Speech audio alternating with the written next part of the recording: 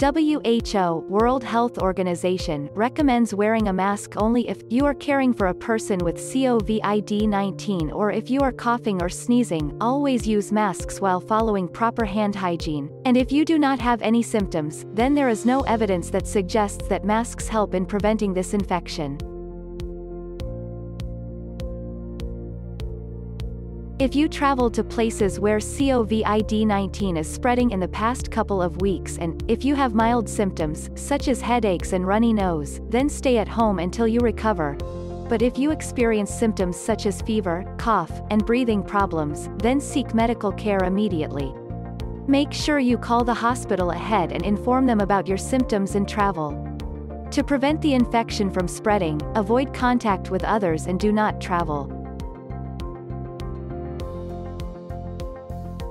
1. Although garlic has various antibacterial properties and health benefits, it will not prevent infection with the new coronavirus.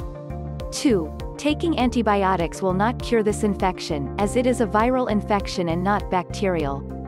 3. Hot showers will not prevent you from catching this infection if you are already infected.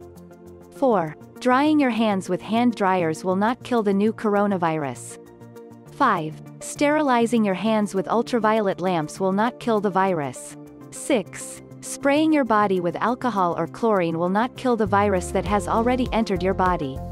7. Pneumococcal vaccine and other vaccines against pneumonia will not prevent COVID-19. 8. Rinsing your nose regularly with saline will also not help. Thank you for watching this video, subscribe to iCliniq and click the bell icon to stay updated about our new videos.